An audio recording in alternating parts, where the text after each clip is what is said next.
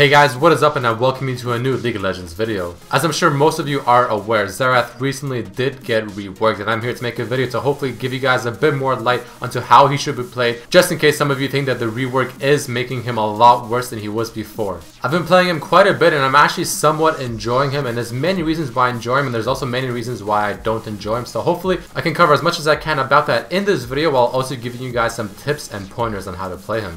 So the new Xerath fills a slightly different role compared to the previous one. The old one was able to be played as a mage type assassin champion since he has one main combo with his ultimate and his stun that can usually lock down a squishy and burst them down. The new Xerath is more of a traditional type mage that is built more at sieging and poking. His burst potential is of course still there, but is just simply not as strong and it's a bit more risky to use if you go all out. The main reason of this is due to his ultimate. You can't always just simply use your ultimate when trying to burst down a target that is within your range of your W and or your E, since if you don't kill them within the time frame that they're stunned, they are potentially just gonna simply get away or just turn around at you and just burst you down as well. Take a look at this example. Here I'm standing on the side trying to find someone I can pick off. I see the Ashe's coming a little close. I land my stun, land my W right in the center. Throw the Q. It's not enough to kill her and I die. Now if I did have my ulti and use it there to finish her off, that would have even more further guaranteed the pull by Blitz. Since I'm so immobile while using the ulti, with the old Xerath I would have been able to combo the skills a lot better and finish her off a lot faster. One main reason is of course his ultimate makes him stand still and after you're done standing still, the old Xerath will have a move speed buff just as he moves but now you don't have that. With the old Xerath, comboing an E and your Q together for the stun and damage will technically do more damage and faster overall, since you have more time on using your ultimate, yet here, by the time you do your stun and fire your other skills, of course your Q and your W, and then use your ulti to finish off the targets, they are about to come out of the stun and chances are you only got time for one guaranteed hit from your ultimates. With the old Xerath, you can just get all of your skills, even all three charges of your ultimate off really quickly before the stun even finishes. But on the bright side, Xerath now has three abilities not counting his ultimate that deal damage as opposed to two. So with all these things in mind, I am not trying to say that the new Xerath is bad, nor worse, just different. Let's start off with this passive. This passive is only good in the laning phase. Outside of laning phase, especially late game, it seems to fall off extremely hard and more or less just be completely useless. At least the old passive made you a bit more tanky against assassins. But of course on the bright side, the new passive does make your laning phase a lot better since you have so much more mana sustain, especially if you auto attack a champion and get triple the mana back. So his passive is pretty much the opposite of what it used to be. Before, it used to be pretty useless in the laning phase, but not that bad in the late game. Now, in the laning phase, it's pretty useful, but late game, quite useless. Like I mentioned earlier, he does now have 3 spells to poke with and deal damage with as opposed to 2, which is a very nice thing, making his laning phase pretty strong and he's also really strong at sieging turrets and just poking from afar. His Q has great range, especially since it doesn't require another skill to poke from a very far distance. But unless you are hidden, it can be of course somewhat hard to land and easy to dodge for the enemy champion since they see you charging it up.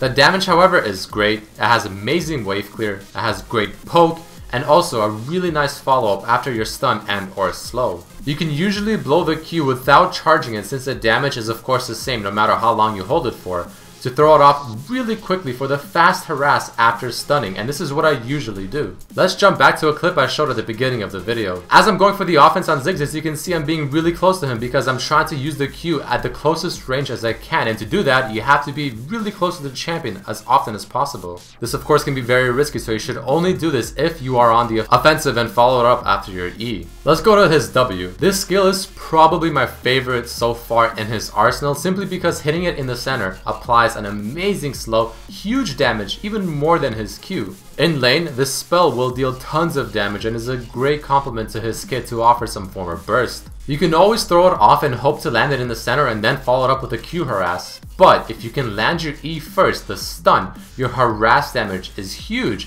assuming you land the W of course in the center, which you should, and then follow it up with a Q. Looking at the clip I'm showing right now, you're gonna see a pretty decent example of this. This is only level 2, and of course, I'm trying to harass as much as I can with the Q and W, landing most of them of course at W, not in the center there, but it is still pretty decent in poke, and as the clip keeps playing on, you're gonna see that LeBlanc goes for the CS, and I actually land my W, I believe in the center, does pretty nice damage, and I know that I'm in the offensive, so I walk up to her, start auto-attacking her, and just really show my dominance in the lane. Once you get level 4 and level up your E, this becomes even easier. Because if you can land your E at the beginning and then follow it up with a guaranteed W center hit plus the Q, your damage is quite huge. His E of course now stuns by itself, making it pretty good and not as reliant on your other skills to actually get the stun off. The damage is mediocre compared to his other skills, which is why of course you should level it last, but the main use of course for this skill is just to be used as a setup. Don't forget that the farther the range, the longer the stun, meaning that you want to try and throw it as far as you can, but then start walking up a bit in the lane so you're in range of your Q at the minimum range.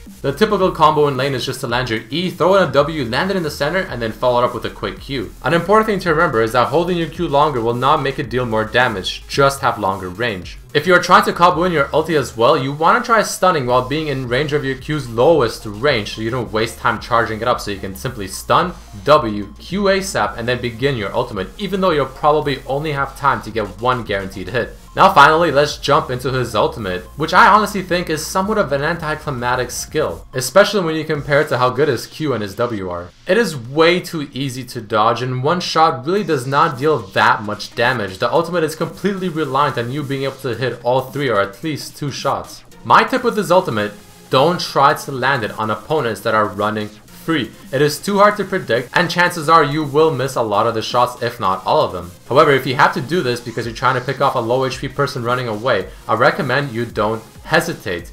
Instantly fire all three shots right away, making it as hard to dodge as possible. Don't fire, wait 3 seconds and then fire and then wait again. Throw it all right away. This should definitely increase your chances at hitting at least 2 hits of the 3.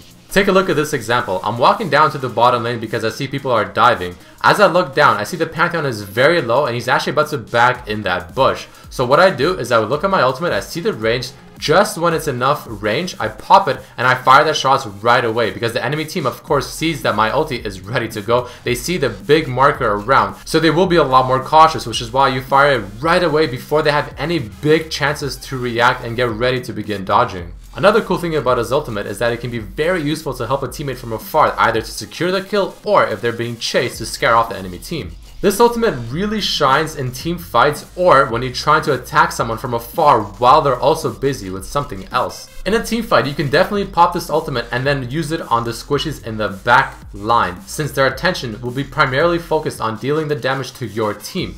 And once you either eliminate them from the fight or make them low enough to have to back, you can finally walk in and start using your other skills to help the team. I don't think it brings as much overall damage as the old ultimate would in a fight, but this one is a bit better to pick off someone that's completely in the back line. And of course, just a better global presence all around. Overall, the new Xerath is not bad, just different. Let's take a look at this clip as another example. Once more, I'm waiting on the bottom side of this area to try and pick someone off. I see the Riven, I throw my stun, deal a lot of damage, land the W, land the Q, she's again at very low HP, just like the Ashe from before. But of course, Riven being naturally super mobile, it makes it so hard for me to finish her off with my ultimates. A big problem with Xerath, and of course it's applied to the old Xerath as well, just not as much since his W gave him move speed, is that if he gets caught, it can be really hard for him to get away. He's not the worst at it since of course he does have a pretty decent stun and slow, but he's also not the best because he has no form of dash. For instance, like LeBlanc. So in this clip so far, you're going to see some really cool pickoffs and all that good stuff, but as the Pantheon finally comes in, it makes it really hard for me to get away. I mean, I almost did get away thanks to my E and W being pretty useful, but the Lizard on the Q just barely finished me off. So overall, if an assassin does jump on you, it can be somewhat difficult to get away, especially if you miss your stun, but if you land your stun and follow it up with a W, you have a decent chance. But again, it doesn't compare to someone like a LeBlanc who just has two dashes. So before I end this video, I want to give you guys some more final points on the new Xerath. Usually you want to use his ultimate on people that are focused on other tasks or they are CC'd. It can be pretty hard to burst someone down fully, however, his EWQ combo is still pretty strong, especially considering that he has 3 damaging spells as opposed to 2 like before. I honestly feel like his new kit with those 3 spells is super good, I think it's just amazing, but his ultimate just falls behind compared to how good his other skills are. His laning phase is also really nice with his passive, giving him a lot of mana back. Again, he has 3 damaging spells in the laning phase, really good harass, great combo, great synergy, but his passive will fall off very hard in the late game and pretty much becomes eh, trivial. So even though I would probably prefer the old Xerath, just because he has the assassin style to him with being able to burst someone down really quickly, the new one is still really good. He's a lot better at dealing damage from afar and just overall better sustained damage as opposed to burst damage. And if you're on the edge of whether or not you should try him out or buy him or whatever the case may be, I do recommend trying him out. He's definitely not a bad champion. He's just different. But that's it for this video guys. I really hope you learned something new and maybe will give the new Xerath a whirl. If you have any questions about this Xerath, please post them in the comments below and I will try to respond as many as I can. For skills, I quickly want to mention, of course, leveling Q, W, and then E, and then items is really situational and you can just go standard AP magic items such as an Athene's, a Rabadon's, an Hourglass, and a Void Staff. But that does mark it for this video guys. I hope you enjoyed it and I hope to see you next time.